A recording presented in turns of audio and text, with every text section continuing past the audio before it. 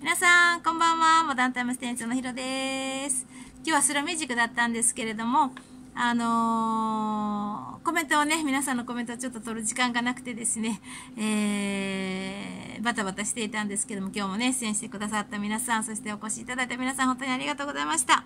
ね、これからもね、いい時間を一緒に作っていけたらいいなというふうに思っております。でその中でグッピーさんという方がですね、あの、出演してくださったんですが、活動50周年を記念してということで、えー、50周年すごいと思いながら、ちょうどスロミュージックに出たのが10年前で、その時も40周年の記念で出たんだよっていう話をしてくださいましたね。で、まあもちろんそれ以外のイベントではね、ワンマンだったり、自主企画のイベントをしてくださってるんですが、あの、スロミジクに出たのが10年前でした。えーってお帰りなさいとかね、活動50周年おめでとうございますみたいな話をしていたんですけれどもね。あの、先日、あるお客さんと話をしていて、マンスリーというのをね、毎月あの発行しているんですが、それをね、なんでか知らないんですが、あの、なんでやろうって今は思うんですけど、取っとかなかったんですよ。あの、紙媒体というかね、発行したものそのものをですね、なんで取っとかへんかったのってめっちゃ後悔してますって言ったら、そのお客さんがね、あの、あ、僕家にあるかもしれんって言って持ってきてくださったんですよ。で、見てください、これ。あの、ボリューム1。ね、すごくないですか？これ。こういうのをですね、あの、しばらくの間ずっとね、置いといてくださったということでですね、持ってきてくださって、あの、大事にこれをね、今度はもうきちんと保管しておきたいなと思うんですが、そうなんですよ。10年前からどうやらこの瓦版を書いている、あ瓦版、あの、マンスリーが作っているらしくって、その時のね、あの、10年前の11月号、ね、ありました。そうなんです。しっかりね、ここ、あの、グッピーさんっていうお名前がありました。ああ、グッピーさんちゃんと載ってると思って。で、同じ月にね、野島寿司商店とかですね、えっと、ファク天然堂さんであったりとか、ね、あの、明日ライブがあります。あの、ランチライブあります。フラットのね、あの、ソロ時代、山形聡くんの名前があったり、山ちゃんだったり、ね、お岩こもりさん、ね、すごい、佐々木愛ちゃんとかね、アイサランとかドンコル、砂尾美き、戸田健吾、懐かしい名前がいっぱい並んでますね。ね、でもこうやって、あのー、皆さんと一緒にね、歩んできたんだなとか、えー、いうふうに思いますね。だからもうこういうものをきちんとね、立っとかないとダメですね、本当に。その中で、そうです。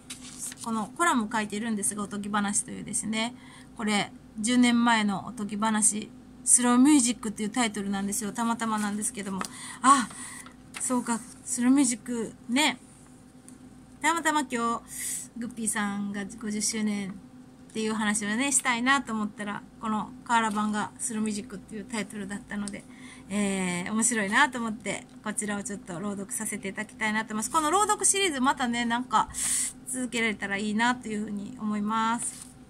では、読みます。モダンタイムス河原版11月号。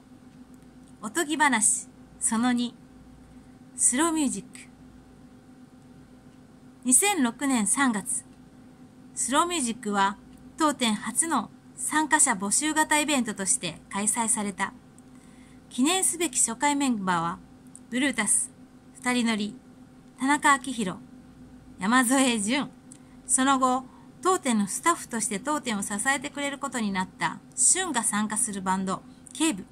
そして、先日 ABEX よりアルバムが全国発売となったばかりの情熱マリーとシャボン玉ハイスクール。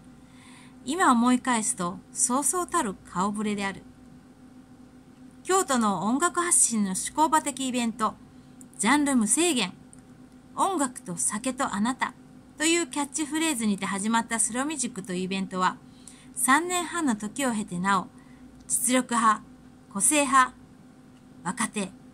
ベテラン問わず、魅力的な音楽によって支えられており、現在、モダンタイムスを盛り上げてくれている出演アーティストも、その半数はスローミュージックからの始まりということになる。当初は、毎月最終水曜日、今のようにエントリー制ではなくて、その日、その場で誰でも自由に参加ができる飛び入りの要素が濃いものであった。よって、出演組数が非常に少ない日もあれば、逆に13組などという希望者に恵まれることもあった。しかし、そうなってくると、あるミュージシャンが出演するつもりでやってきたのに、あまりにも時間が遅くなってしまったがために、終電などの理由でやむを得ずステージに上がることなく帰っていくという事態が起きた。当然、怒り出す出演者もいたし、何より夜中の12時、1時を超えて、誰もいなくなった店内でステージに上がったところで、何の意味があろうか。イベントが非常に盛り上がってきたがために起きてしまった時代だったのだが、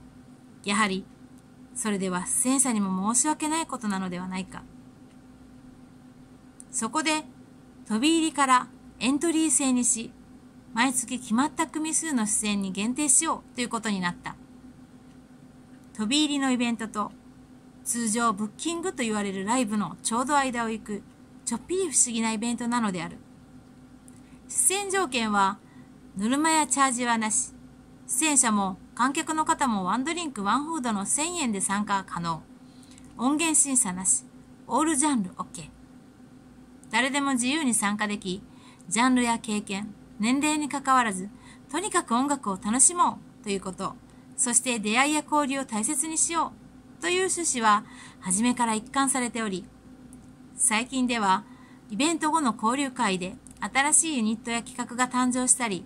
思わぬ友情が生まれたりと、ワクワクするような気持ちで満ち溢れている。とっても大きな舞台を経験したことのある人、今日初舞台です。と言ってドッキドキの表情を隠せない人、何か新しいことにチャレンジしようとしている人、いっぱい爆発を踏んで大舞台に出ていこうと頑張る人、のんびりマイペースに音楽をやっていきたい人、みんなが同じ条件で同じ舞台に上がるのである。そして、それぞれの思いを自由に表現するのだ。何よりありがたいことは、出演者の皆さんも、お客さんも、皆、あったかい。みんなが楽しみ、みんなで盛り上げてくれるから、出る側も見る側も居心地がいい。それがこのイベントの何よりの魅力である。オーナーであるヒロとしては、その日がたとえ彼らにとって初舞台だったとしても、スローミュージックにどんどん参加して、いいミュージシャンに育っていってくれたらなぁ、なんて、くそえんでいるわけである。お店の一番後ろでね。お客さん、見る側代表のヒロが考える、いいミュージシャンとは、なんて話し出すと、果てしなく続きそうなので、それはまた次の機会に。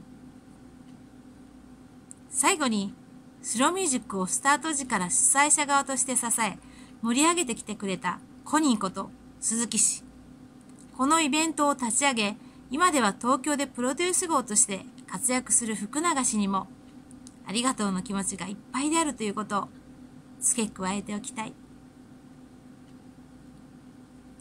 スロミュージックはスローフードやスローライフといった言葉に由来します。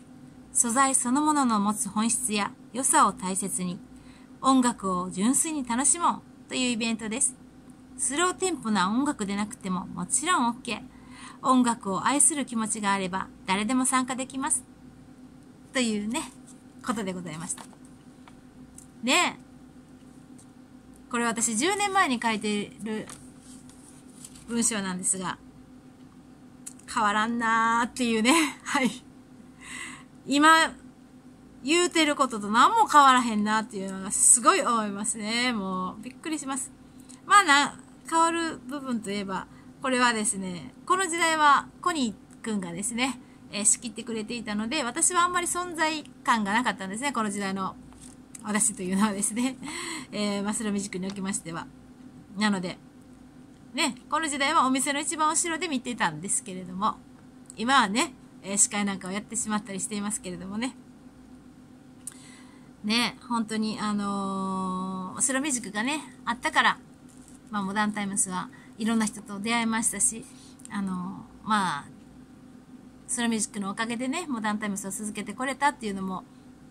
それはもう、大げさな話ではないと思います。実際そうやなというふうに思っています。なのでね、支援してくださる方たちがこれだけたくさん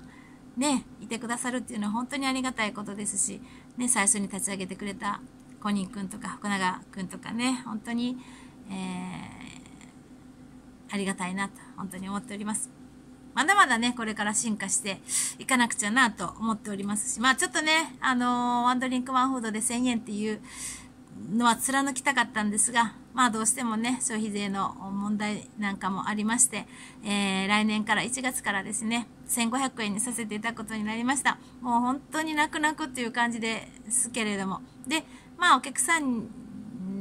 に関しては、えー、2ドリンクとワンフードで1500円なので、飲食代だけっていうのは変わらずで、出演者の方は500円の、まあ、えー、参加費とワンドリンクワンフードで1500円ということにさせていただくことになりました。まあね、あのー、1500円になっても、ね、その、空気感であったりとか、値打ちというのはね、変わらないでね、その、それ以上の価値というのを皆さんにね、もっともっと感じていただけるようにね、頑張っていけたらいいなというふうに思っておりますので、これからもね、スローミュージック、たくさんのエントリー、そして、えー、お客さんとしてもですね、応援に駆けつけていただきたいなというふうに思います。ここのスローミュージックの中からですね、あのー、まあ、羽ばたいていくアーティストがたくさんいると思うのでね、そういうみんなを一緒にね、応援していただきたいなと思いますし、こうやって40周年、50周年という形でね、音楽を続けている人たちにとってもですね、えー、ね、この、スルミジックというイベントがね、自由に、えー、自分を表現できる場所であり続けたいなっていうふうに思ってますのでね、今後ともよろしくお願いします。ということで、またね、これからも頑張っていきます。モダンタイムス店長のひろでした。